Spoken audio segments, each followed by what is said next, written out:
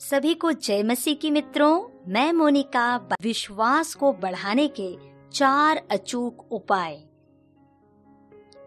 लूका सत्रह के पाँच में तब प्रेरितों ने प्रभु से कहा, हमारा विश्वास बढ़ा। परमेश्वर के लिए बड़ा और सामर्थी काम करने के लिए हमें विश्वास की ज़रूरत है। जैसे इब्रानियों की पत्री ग्यारह अध्याय में लोगों ने किया। हमारा उद्धार विश्वास से हुआ है।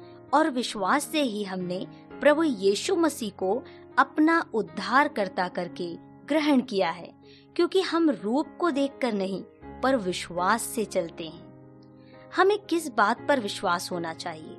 हमें परमेश्वर के वायदों पर विश्वास होना चाहिए कि परमेश्वर ने मेरे लिए बेहतर और सर्वोत्तम आशीषें रख छोड़ी हैं, और निश्चय उसकी करुणा और भलाई जीवन भर मेरे संग संग बनी रहेंगी।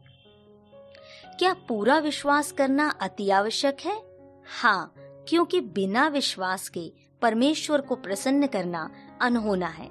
परमेश्वर के पास आने वाले को विश्वास करना चाहिए कि वो है और अपने खोजने वाले को प्रतिफल अवश्य देता है।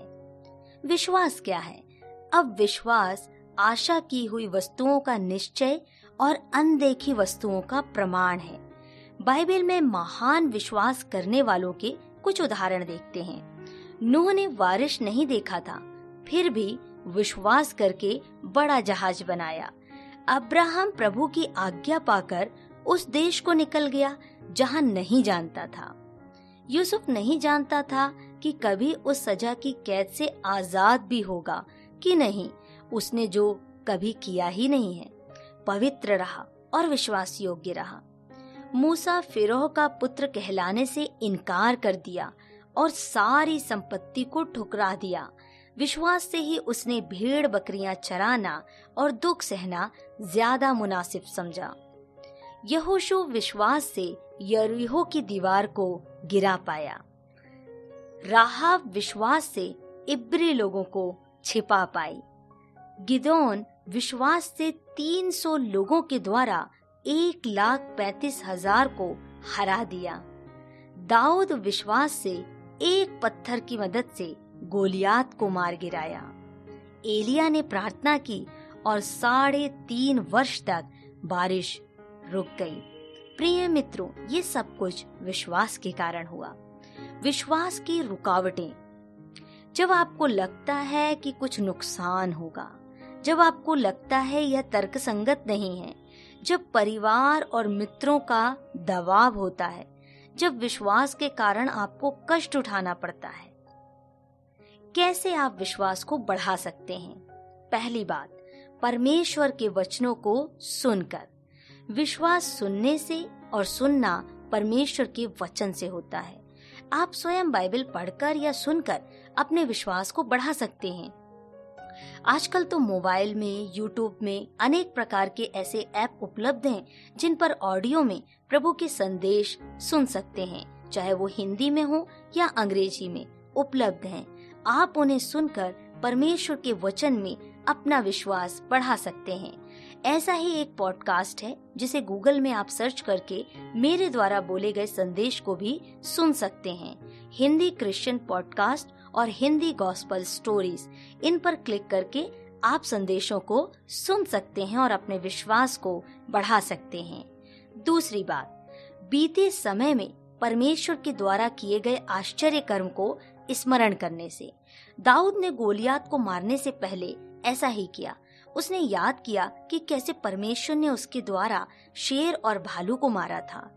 दाऊद एक चरवाहा था, लेकिन बचपन से ही परमेश्वर की आराधना करता था और उनके लिए गीतों को लिखता था।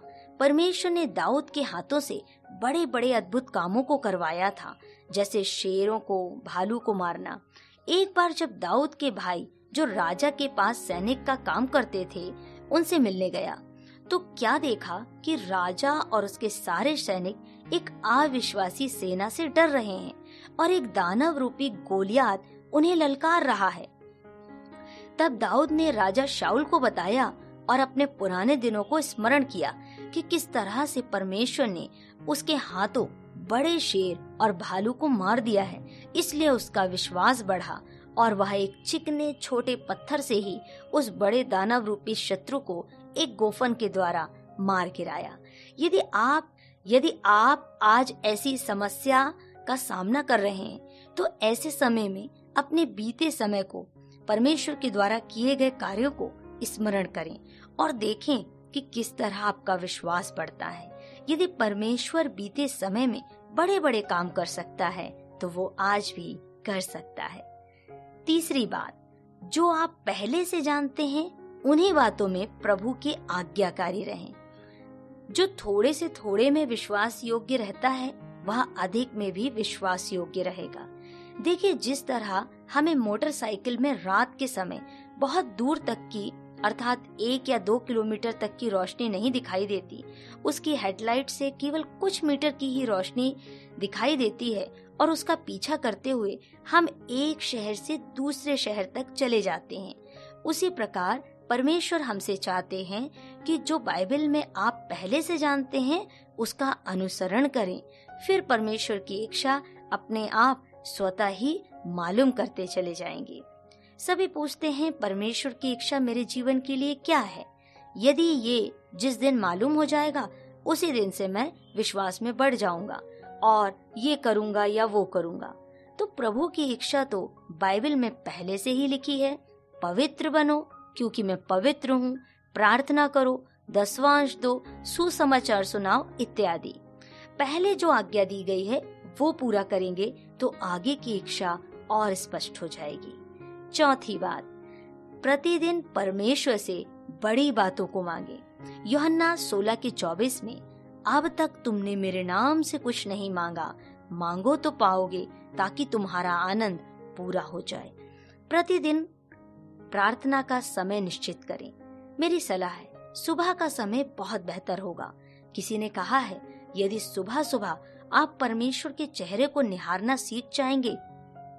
तो पूरा दिन आपके लिए बाकी सभी चेहरे छोटे नज़र आएँगे।